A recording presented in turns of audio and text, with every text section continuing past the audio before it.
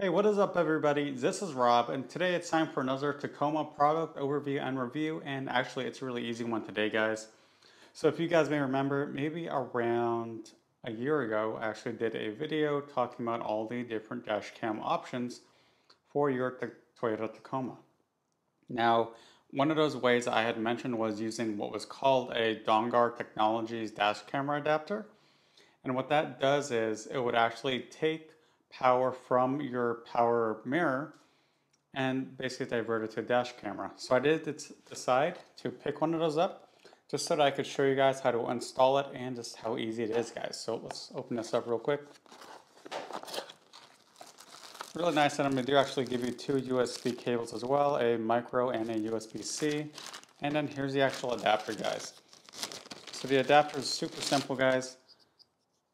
Essentially, wow, I just, we used to have to splice stuff all the time to get this kind of stuff going. So the fact that it's just as easy as plug one end into the mirror, plug what was originally plugged into mirror that cable into this end, and then here's where you put in the USB cable. It's just so easy now, guys. So I do have my Rexing V1 in my Tacoma. So I'm going to show you guys exactly how it works. So do remember though, if you guys do want to know other ways to hook up your dash camera, do check out that video that I had done in the past, link up above. Also, of course, check out all of my other Tacoma, you know, product overview and install videos, guys. I love doing this stuff for you guys, so check it out, guys. So now let's go ahead and let's get into my Tacoma. All right, you guys.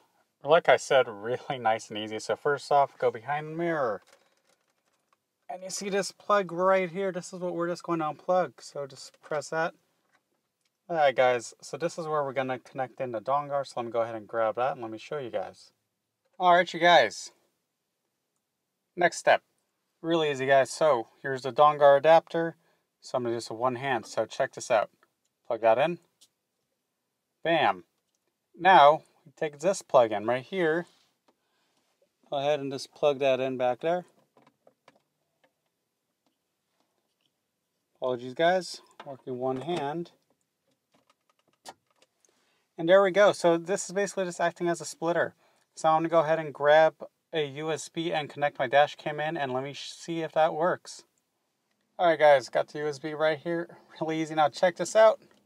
Plug that in. And give it a second. And there we go.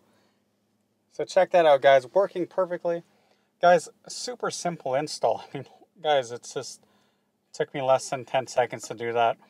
Of course, I do have the links to the Dongar product as well as the Rexing V1 dash cam if you want to check that out down below. Also, of course, check out my previous dash cam guys.